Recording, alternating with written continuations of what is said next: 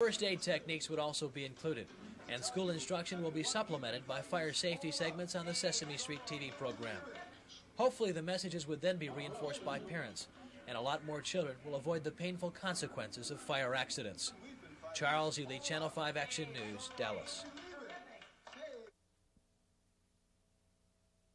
Some of my good friends went to a fire station and they got to wear those special clothes. Even the Sesame Street TV characters are getting into the act because there are thousands of children out there who need to learn how not to burn.